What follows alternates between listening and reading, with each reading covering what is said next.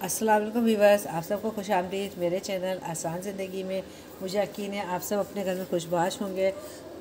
और मेरे लिए भी दुआ करते रहें कि मैं भी खुशबाश रहूँ, अपने घर में सेट रहूँ, आपके लिए नए से नई रेसिपीज़ लेकर आऊँ।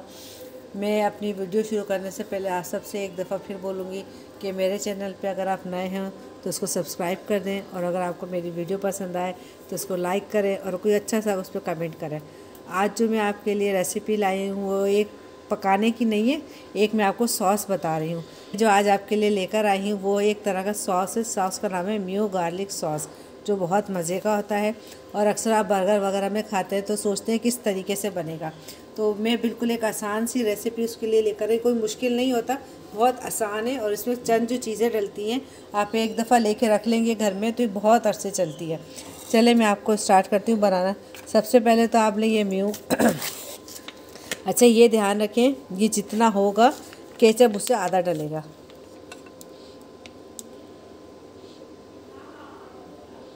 बहुत अच्छा लगता है पता नहीं क्यों अब देखिए मैं ले रही हूँ छः चमचे।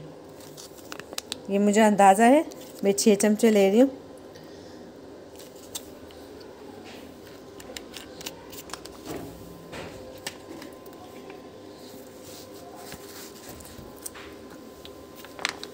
अब छः चमचा हमने म्यू लिया है तो चार, हमें तीन चमचे हमें लेना है केचप। केचप हमेशा आधा लेंगे। आप जितना भी लें, केचप उससे हाफ़ रखें।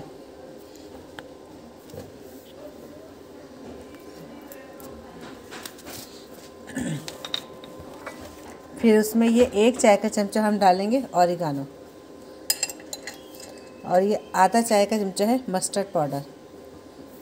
मस्टर्ड क्रीम भी ले सकते हैं ना वैसे? हाँ मस्टर्ड लिक्विड में भी आता है पर मेरे पास पाउडर होता है तो मैं पाउडर ही यूज़ करती हूँ।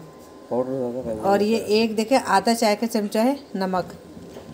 पाउडर का वो होता है ये पाउडर वो ज़्यादा और एक चमचा है कुटी हुई लाल मिर्च। अब हमें इसको अच्छे तरीके से मिलाना है।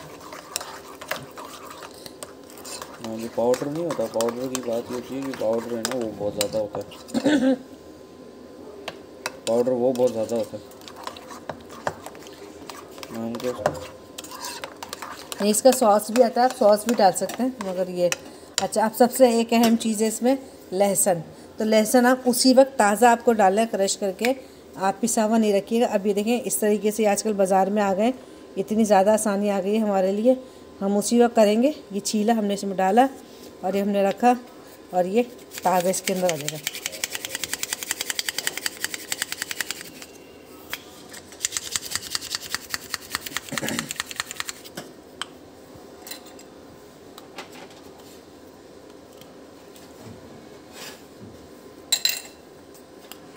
ये मैंने चार दाने लहसुन के लिए थे, जवे।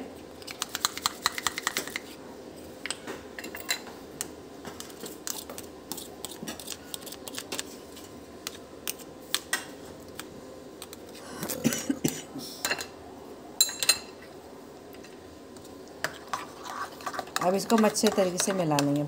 इसमें जो एक लहसन की जो खुशबू आती है, बहुत ही मज़े की इसकी खुशबू जो फ्लेवर होता है ना सॉस का लहसन डालने से बहुत स्ट्रॉन्ग हो जाता है और बहुत ही, क्या बताऊँ आपको, ये खाने में ही मज़ा आएगा। जब इसको खा के देखेंगे ना, एक अलग सी चीज़ बन जाती है ये।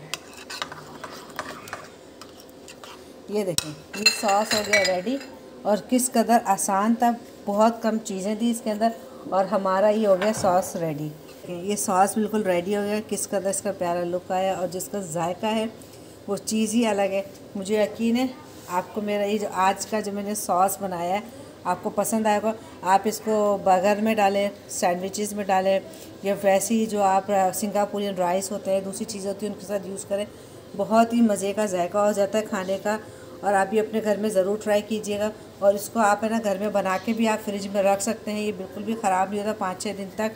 तो अगर आपको मेरी वीडियो पसंद आई हो तो इसको लाइक करें, शेयर करें और अगर आप मेरे चैनल पर नए हैं तो उसको भी सब्सक्राइब करें और मेरे लिए भी दुआएँ करते रहें कि मैं आपके लिए आगे से आगे अच्छी से अच्छी रेसिपीज़ लेकर आऊँ। इन अब मिलेंगे अपनी आइंदा नेक्स्ट वीडियो में। अल्लाह हाफिज़।